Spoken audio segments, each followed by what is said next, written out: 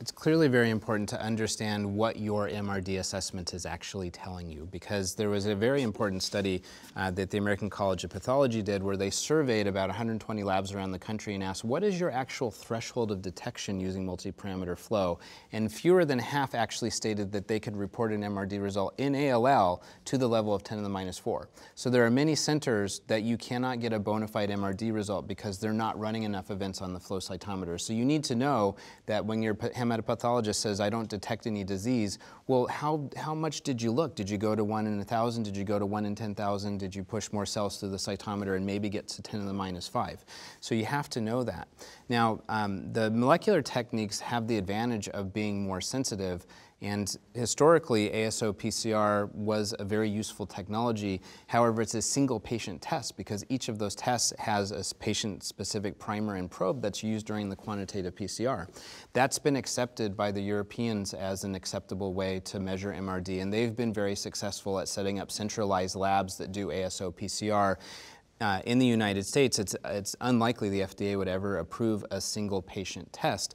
And so thankfully, the next gen sequencing approach has entered with multiplex PCR so that every patient can undergo the same assay with the same reagents. And using this multiplex PCR and sequencing all the amplimers that come from that amplification, as long as you know what the original clonotype or immunoreceptor sequence that denoted the patient's cancer was, you can look for that at a deep level down to 10 in the minus 6 in subsequent samples.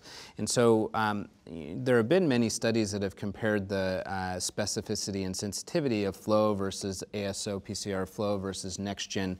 And above 10 to the minus 4, they actually have great correlation. So if you have access to a bona fide validated flow-based MRD assay, that's great, use it. But if you don't, consider using the next-gen approach because it's now just something you send out to a reference lab.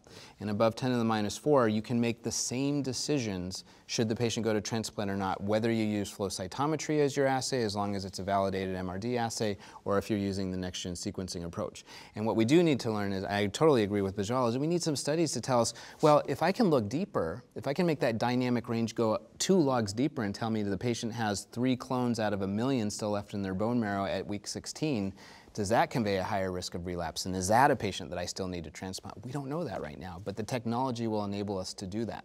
So hopefully we can get but, those But anecdotally, done. we do know it in the context of Philadelphia positive leukemias. Uh, we've seen it. If someone fails to, to, to develop a complete molecular remission, as, as we were discussing earlier, we know that patient has higher risk of relapse.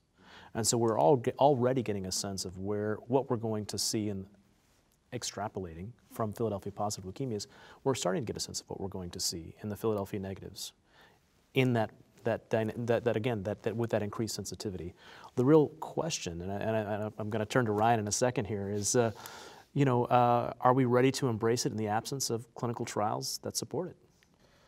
Um, I think in the right context, I think uh, Aaron's point is is very true, and that's sort of my take on this. Is I think, and again, I have to offer this with the caveat that my clinical flow cytometry that I have access to is reference lab COG quality flow cytometry. But I think if, if, if you have access to one of the more established technologies that have been used in clinical trials, multi-parameter flow that's reliable, or ASO PCR, if it's BCR-ABL PCR, those would be my usual recommendations. But if, if, if you don't have access to one of those good assays that have been validated and have been studied, then I think next generation sequencing based MRD detection would be useful because I think um, while there are relatively limited data available to my knowledge that tell us how to precisely use next generation sequencing to make clinical decisions, um, I would say that MRD is definitely better than no MRD.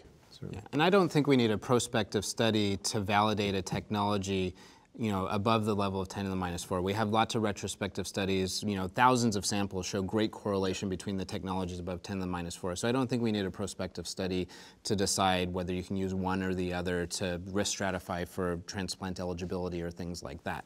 I think, again, if you want to go deeper than 10 to the minus 4, that's where we probably need some additional work. But, you know, let's face it, the reason that COG and the Europeans have incorporated MRD testing is they centralize the care of the patients. You know, pediatric patients always get treated in an academic center. In European center or European countries, they mostly get treated in academic centers, and they're all doing the same MRD through the Euro MRD and the EuroFlow consortia.